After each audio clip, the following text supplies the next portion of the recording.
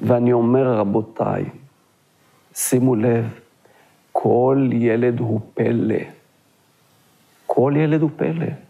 כל ילד הוא במשהו טוב יותר מחבריו.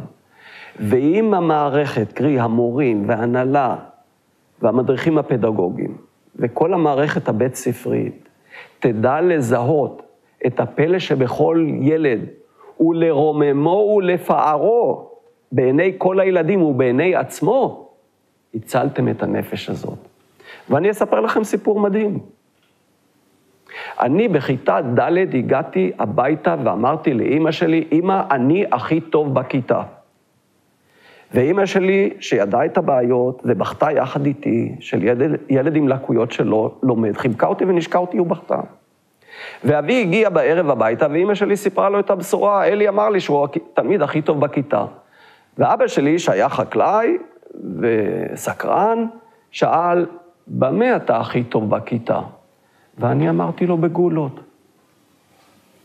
ואני חטפתי, לא נעים לי להגיד. אבל אני מספר את זה כדי להפיק לקח מהסיפור. ש... ואני אומר, לפרחי ההוראה ולכל מי שמוכן לשמוע, אני הייתי פלא בגולות, לא בלימודים. אבל אם המורה הייתה מוצאת לנכון לברר במה כל ילד בכיתה הוא פלא שונה מאחרים, והייתה מגלה שאני פלא במשחק הגולות ומרוויח לכל ילדי בית הספר את הגולות, והייתה אומרת, יל... אה, ילדים, בואו נפנה את הכיסאות והשולחנות בכיתה, ואלי יראה לנו איך הוא פוגע בגולות. היא הייתה הופכת אותי למלך. אבל לא הייתה הופכת אותי רק למלך, הייתה נוגעת בנפשי.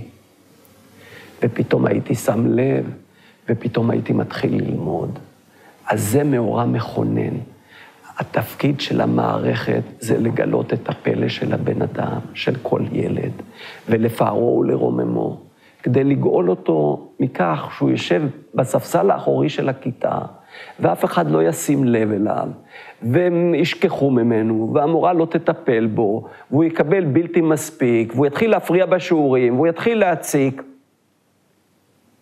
והוא יהיה מוקצה מהר מאוד, ויהיה עליו חותם שילווה אותו ויוציא אותו מתוך המערכת.